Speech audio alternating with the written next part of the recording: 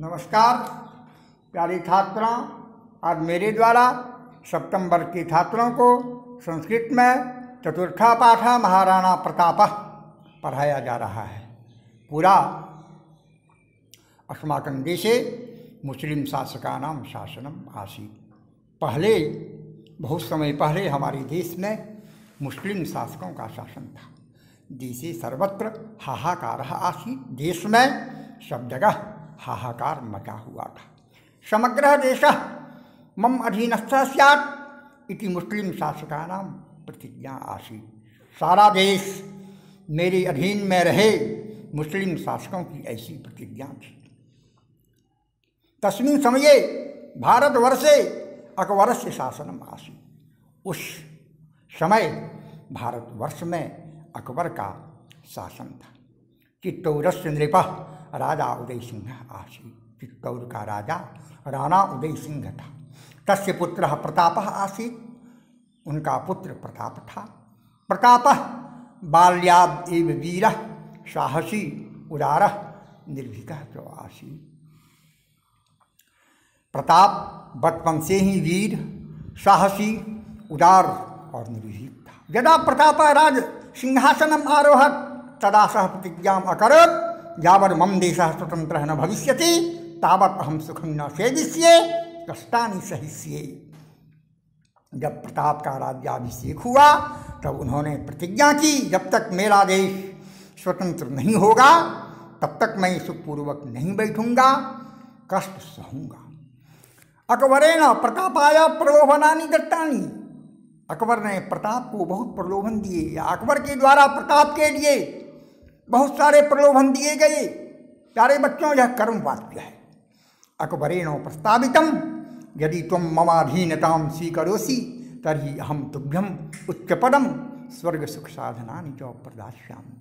अकबर ने प्रस्ताव रखा, यदि तुम मेरी अधीनता स्वीकार करते हो तो मैं तुम्हें प्रतिष्ठित पर और सभी सुख सुविधाएँ प्रदान करूँगा। वीर प्रताप, अति स्वाभिमानी आसीत वीर प्रताप बहुत स्वाभिमानी थे। तेन अकबर से प्रस्ताव न स्वीकृतम। उनके द्वारा अकबर के प्रस्ताव को स्वीकार नहीं किया गया, यानी उनके प्रस्ताव को ठुकरा दिया गया। अनेन अकबर रुष्टा जाता। इससे अकबर नाराज़ हो गया। वीर प्रताप, चित्तौरस्य स्वतंत्रता यही अकबरेन सह युद्धम अकरो वीर प्रताप ने चित्तौर की स्वतंत्रता के लिए अकबर के साथ युद्ध किया। युद्धे प्रतापस्य पराजय अभवत। युद्ध में प्रताप की हार हो गई। सह निर्धना जाता। वे निर्धन हो गए। साधन विहीन प्रताप वनम अगछत अनेकानी कष्टानी च असहता साधनों से रहित प्रताप जंगल में चले गए और अनेक कष्टों को सहन किया। परम प्रतापे न लेश मात्रम अपि कष्टम न गणितम। लेकिन प्रताप ने लेश मात्र भी कष्टों की परवाह नहीं की। अंते प्रताप स्वदेश स्वतंत्रता युद्धं कुरन युद्ध भूमो भूमौ एव स्वप्राणान त्यजत अंत में प्रताप ने अपने देश की स्वतंत्रता के लिए युद्ध करते हुए अपने प्राण त्याग दिए। धन्य सह महान देशभक्त, वयंकं सादरम नमाम।